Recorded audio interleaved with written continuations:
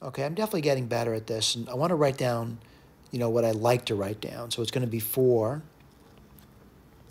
4, 2m squared over n 4 plus 4, 3, 2m squared over n 3, 5n squared over m plus 4, 2, 2m squared over n, 2, and what do you get there? 5n squared over m, 2. Well, you know, I'm kind of running out of room, so I got to keep going. And it's plus 4, 1, 2m squared n, 5n squared m, and that's going to be 3 now. And then last but not least, you can get 4, 0.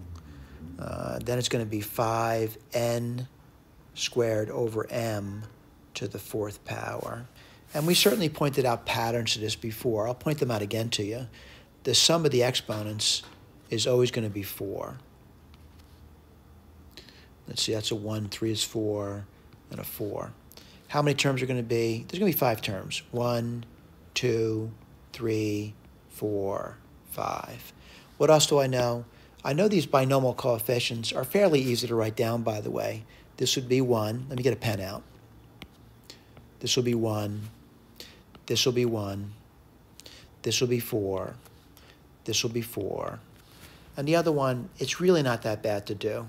If you want to write it down, I'll point out what it means. It means 4 factorial over 2 factorial, 2 factorial, which is 4 times 3 times 2 factorial, so over 2. So that would turn out to be the number 6. All right?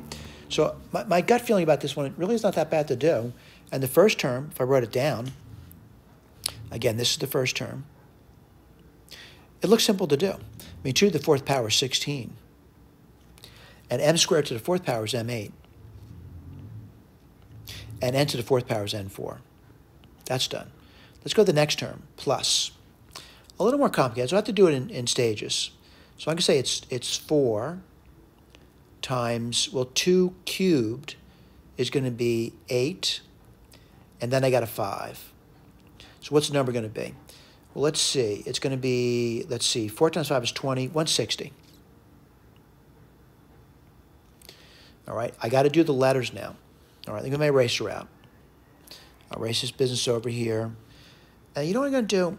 I'm going to erase the things I'm done with. I, I'm done with this. And I want to really, do, you know, kind of do one thing at a time. I'm in a second term now, right? I've already got the number done. But now I got to do the letters. So what do I see? I see M6, N cubed, and then I see N squared over M. And I need to reduce that. So I would get M5, and let's see, and I get an N. All right, I'm going to erase that now. I'm done with this guy. I've done that. And again, I'm trying to, you know, methodically go through the problem, basically one term at a time. Let's do the next one. A little more complicated, but I'm going to do the number first. It's going to be 6, and then 2 squared is 4, and 5 squared is 25. Well, 4 times 25 is 100, and 6 times 100 is 600.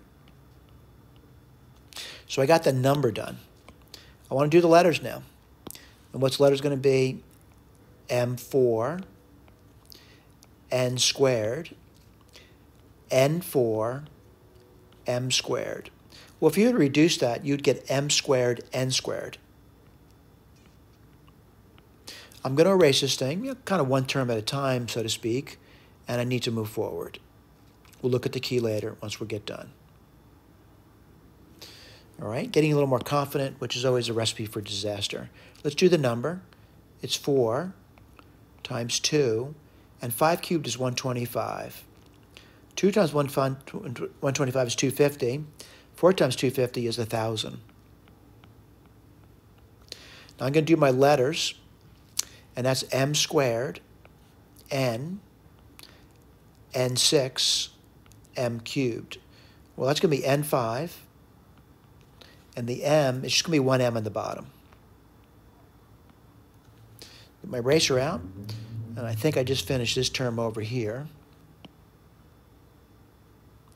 And I got this last term to do now. Doesn't look that bad to me.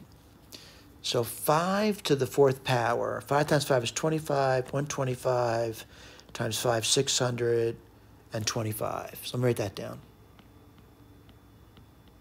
And then you can get N8 over M4. Get my eraser out, and I'm done with that term. Again, some students are quite good at this. They do it without doing too much writing. Other students do a lot of writing. Whatever works for you. All right, let me get my little red pen out, though, my marker, and see if we got these terms over here.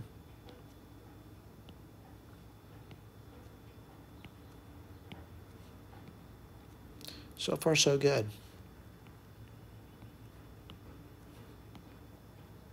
Everything's working as advertised. Thank you.